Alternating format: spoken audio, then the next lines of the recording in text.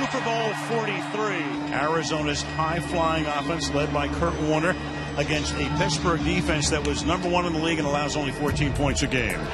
Third and goal. Russell puts his head down. Does he get into the end zone? He does. Touchdown.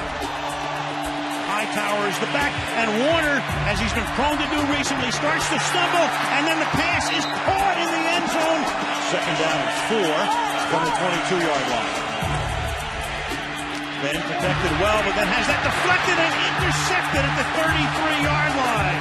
18 seconds from the gun. Steelers show blitz. Here they come. He gets it away and it's picked off at the goal line. There's a flag thrown on the run back.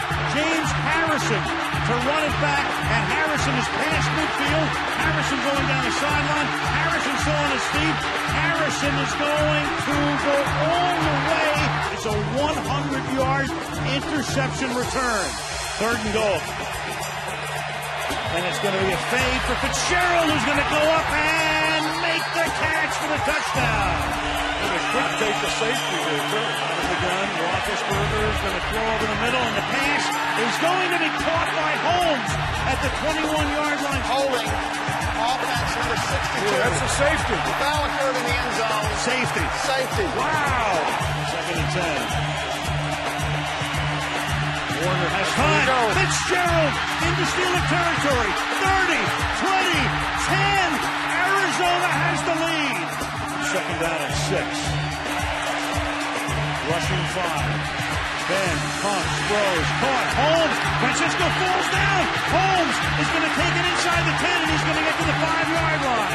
Holmes, a great runner, turns to the outside and up the field. Holmes has caught eight for 125 yards. Miller slot left. Washington outside left.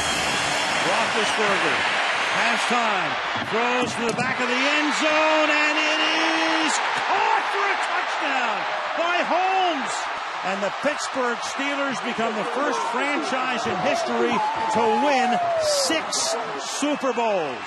Santonio Holmes, nine catches, 131 yards, and the game winner.